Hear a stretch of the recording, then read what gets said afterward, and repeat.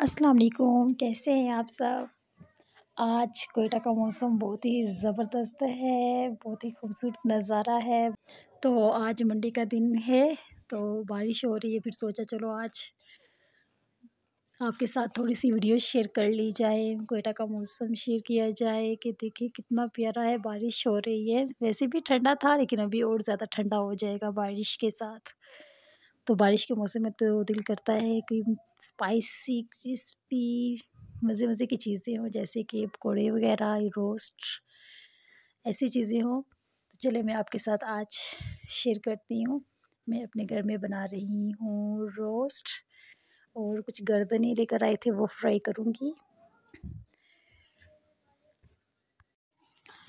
तो ये मैं आपके साथ आज की वीडियो ही शेयर कर रही हूँ। मंडे के दिन की बहुत ही ज़बरदस्त मौसम है, सब बहुत खुश हैं, बच्चे बहुत खुश हैं, सब बहुत इंजॉय कर रहे हैं। बच्चों का तो दिल कर रहा है कि अम्ब्रेला लेकर बारिश में जाएँ, लेकिन मौसम ठंडा है। हाँ तो मैंने ये गर्दनी बॉईल होने के लिए रखी थी, इसमें मैंने तिक्का मसाला, काली मिर्च और नमक ऐड किया था। तो इसको मैंने बॉईल होने के लिए छोड़ दिया। तब इसमें सिर्फ़ हल्का सा पानी रह गया है। तकरीबन इसमें मैंने आधा जग पानी का ऐड किया था, क्योंकि गर्दनी है तो ये थोड़ी सी गलने में टाइम लेती हैं।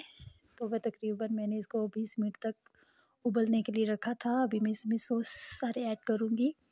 तो सबसे पहले मैं इसमें चिली सॉस ऐड कर रही हूँ, तकरीबन दो चम्मच। तो अभी मैं इसमें ऐड करूँगी सोया सॉस। ये भी तकरीबन मैं दो चम्मच इसमें ऐड कर रही हूँ। तो फिर इसके बाद मैं इसमें सिरका ऐड करूँगी। तो फिर उसके बाद मैं ऊपर भी ढक्कन देकर तो पाँच से छः मिनट के लिए उबलने के लिए रख दूँगी। तो फिर जब इसमें से बिल्कुल पानी खुश्क हो जाएगा तो फिर मैं ये फ्राई करूँगी।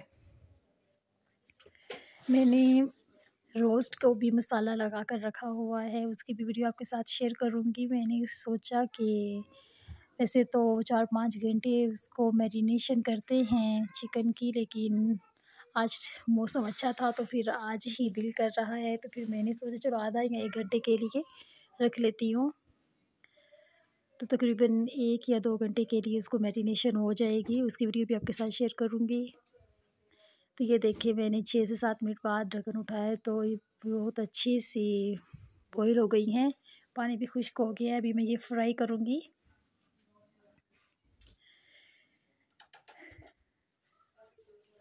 तो इनका भी जायका अपना होता है। कुछ लोगों को को मुर्गी की गर्दनें, चिकन की गर्दनें बहुत अच्छी लगती हैं तो ये खाने में भी अच्छी होती है, मज़े की होती है। हमारे घर वाले तो सब बहुत शौक़ से खाते हैं।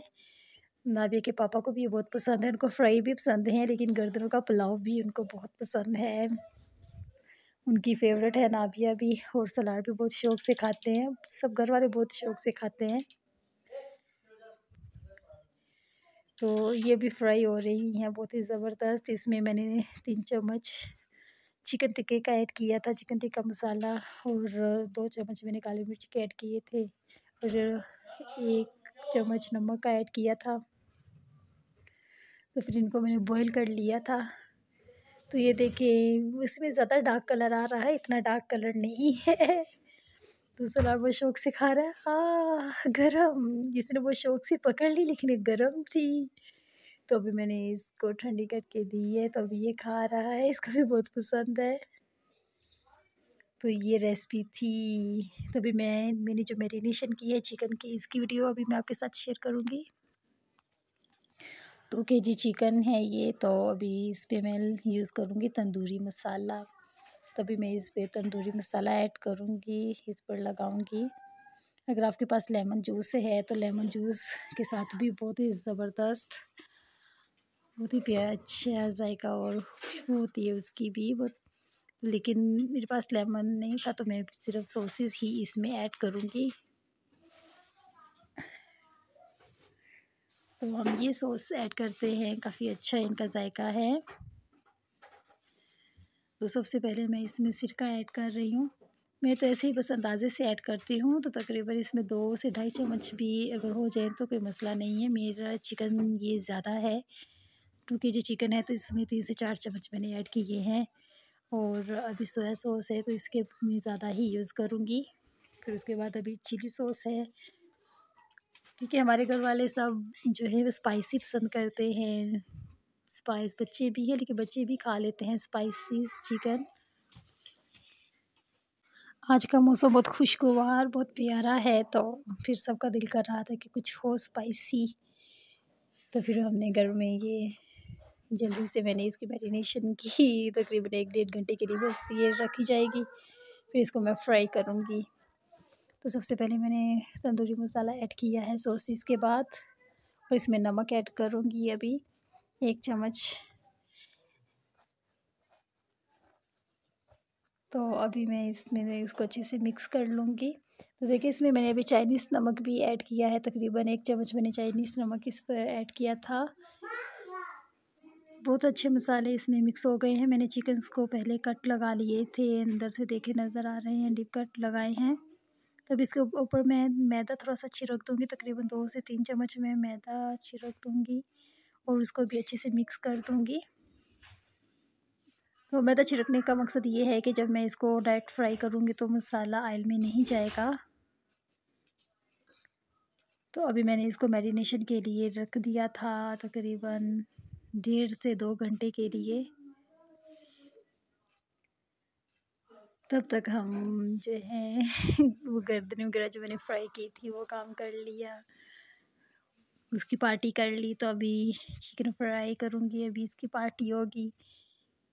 जैसा कि मौसम आज इतना अच्छा है तो चाय के साथ पकौड़े या फिर रोस्ट वोस्ट तो होना चाहिए।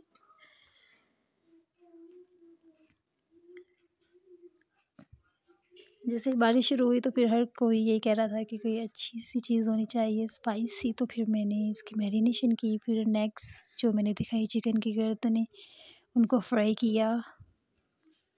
तो अभी मुझे तकरीबन डेढ़ से दो घंटा हो गया था इसको मैरिनेशन किए हुए तो अभी मैं ये फ्राई कर रही हूँ।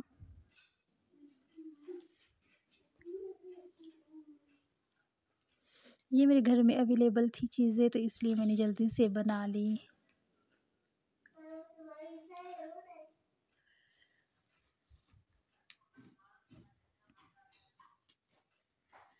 तो अगर ये ना होती तो आलू के पकौड़े, प्याज के पकौड़े ये सारे चलने थे। क्योंकि बारिश के मौसम में तो कोई भी बाहर जाने वाला नहीं है कि कोई बाहर जाए बारिश के मौसम में और चिकन विकन ये कुछ लेकर आए इन चीज़ों के लिए। हमारे घर में अगर इकट्ठा ही ज़्यादा से चिकन आ जाता है तो जिनके हम पैकेट बनाकर अच्छे से वाश करके पैकेट बनाकर फ्रीज़ कर लेते हैं। जिस टाइम ज़रूरत होती है उसी टाइम हम निकाल लेते हैं।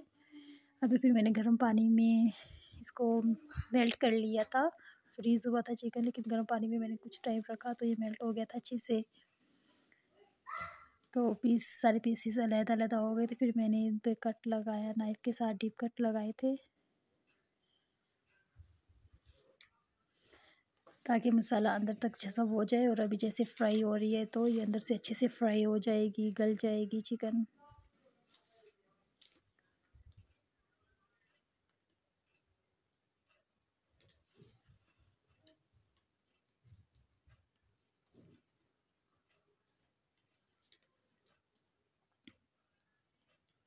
तो अभी आधा हुआ है तो अभी आधा और बाकी भी फ्राई हो रहा है।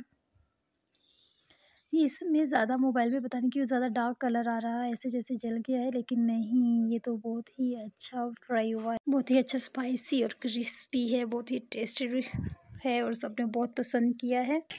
तो मुझे अगर आज की वीडियो अच्छी लगी तो लाइक ज़रूर कीजिएगा कमेंट में बताइएगा कि मेरी रेसिपीज़ कैसी लगेगी। और मेरे चैनल पर न्यू है तो सब्सक्राइब ज़रूर कीजिएगा और बेल के बटन को ऑल पे कर दीजिएगा ताकि मेरी सब आने वाली न्यू वीडियोज़ का नोटिफिकेशन आप तक पहुँच जाए। तो ये था आज का मंडे का दिन। मेरा बहुत ही ज़बरदस्त बहुत ही अच्छा खुशगवार और ठंडा ठंडा और मेरी वीडियो को लाइक और वीडियो में कीजिएगा। अगर मेरे चैनल पर नहीं है तो सब्सक्राइब भी ज़रूर करें। फिर मिलेंगे नेक्स्ट वीडियो में। अल्लाह हाफिज़।